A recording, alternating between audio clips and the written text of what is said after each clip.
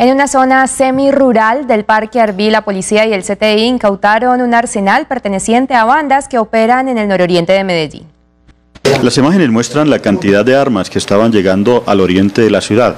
El armamento que fue incautado en una zona rural del Parque Arví, al parecer pertenecía a las bandas de los combos La 29 y Galera se permitió hallar en un inmueble abandonado en ese sector del Parque Arby una, una, una casa abandonada. Dentro de la misma, en la cocina, se logra verificar cuatro canecas enterradas en el piso, las cuales se pueden encontrar un importante material bélico.